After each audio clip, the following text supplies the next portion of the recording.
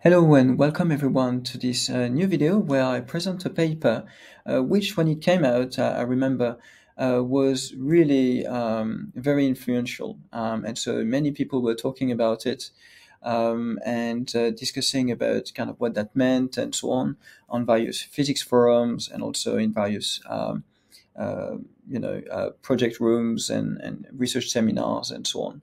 Um, and interestingly, this is not necessarily a research paper uh, per se, although uh, of course there is uh, a lot of you know intellectual stuff being put forward and some kind of uh, uh, interesting um, uh, kind of discussions. Um, so I would say perhaps this is um, an article which is at the interface between well, education, uh, physics research in the in, in the term of theory, so theory, uh, the interpretation aspect of the theory, and also philosophy. And um, this uh, article is titled "There Are No Particles, There Are Only Fields," and this is by Art uh, Hobson uh, from the University of Kansas, um, Arkansas. Sorry.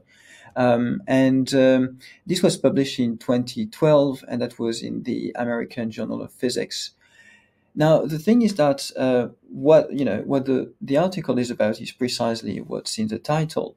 Um, there is a huge emphasis, um, in fact, in the vocabulary being used by um, uh, you know by the by various audiences. Let's say um, that can be science communicators, when they talk to the public. That can be uh, professionals, um, so professional physicists talking to the public or talking in educational settings. That can be uh, teachers uh, and so on. And that can even be professionals talking to professionals, so physicists talking to physicists and so on.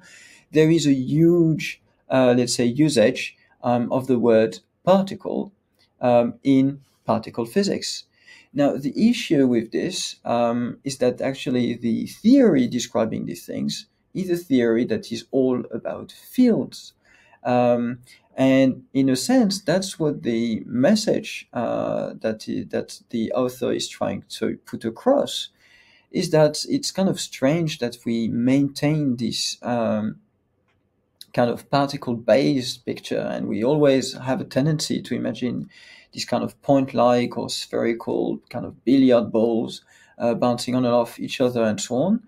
Uh, while in fact we're talking about uh, fields, um, and so that's kind of the, the, the main idea of the article. Now, of course, if you see, this is a quite long article, 32 uh, pages. Most of it actually reads very well. Um, American Journal of Physics is a physics journal. Um, depending on the paper, it can be very technical, um, but the goal is also uh, to influence teaching in the US. Um, and um, and so here, this is a fairly I'm not saying easy in the sense that uh, there are technical stuff. There are some equations that you have difficulties understanding if you have no knowledge uh, of quantum mechanics whatsoever, or even of quantum field theory. There are some aspects that are difficult to understand. Um, however, uh, most of it is just plain text where the author uh, recounts basically what is typically done, uh, but then what is actually um, what the theory actually contains, and therefore why we should switch kind of gear when it comes to the vocabulary and the terms we use when looking at high energy physics. Um, and um, and that, that, again, there is no point kind of going through. I mean, if I want to show some of the technical bits, uh, well, here this is general relativity, um, but here there is some equations. So here these are uh, typical equations you would see in quantum field theory. Um, the A and A star um, are going to be, um, uh, or at least they are going to correspond to um, creation and annihilation operators um, in quantum field theory. Um, so that's what is written here, operator valued fields. And so these are these guys. Um, and then these things are going to be interpreted as, um, um, depending on the field you look at, some, uh, you know, some bosons that can be related to the generation of positrons, whatever, depending again on, on the kind of things you look at. Um, so these are kind of things that are a bit complicated looking. Um, but I think the author does a great job at making these things fairly readable.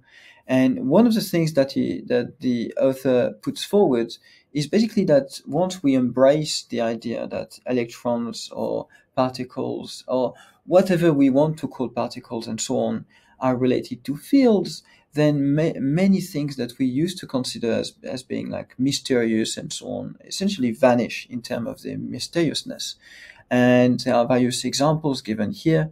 So the two-slit experiment, uh, you see, contains the only mystery according to Feynman and so on, which according to um, this article, well, stops being a mystery if you talk about fields. So that's kind of uh, one of the ideas.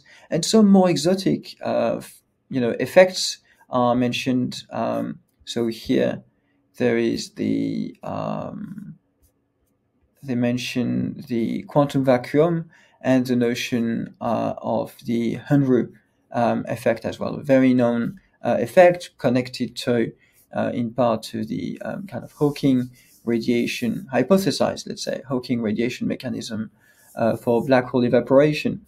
Um, so basically, all of these things do appear in the discussion, uh, and they are you know less mysterious as soon as or we uh, we tend to embrace the idea of fields instead of particles. Um, so if you find this thing interesting, I will obviously put a link uh, to this article um, in the description of the video. Uh, I encourage you to have a go at reading it. Uh, this is really um, a very interesting read. Um, and you know you may disagree, of, of, course, with the author. That's completely fine. Uh, but then you need to be aware about uh, if that's the case, what uh, arguments um, uh, basically people in favor of field only essentially put forward. Um, so uh, that's it. So if you have any questions or comments, by all means, uh, do let me know in the comment section. And otherwise, see you um, in another video.